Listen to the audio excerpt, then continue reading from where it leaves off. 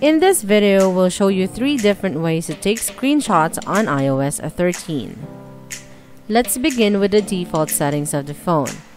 Here, you have to use the hardware keys of your phone. You have to press your power button and the home button simultaneously. And the other way is by using the assistive touch of your phone. You can set this under your settings.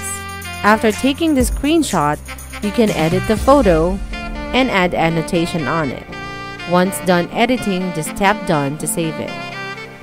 Or you can also use a third-party app called ApowerMirror. You can get the app by visiting the official website and to use it just launch the app and click the blue M button. Wait until your PC name appears. Tap the name of your PC and tap phone screen mirroring. Now, swipe up to reveal your control center, tap screen mirroring, and tap the name of your PC.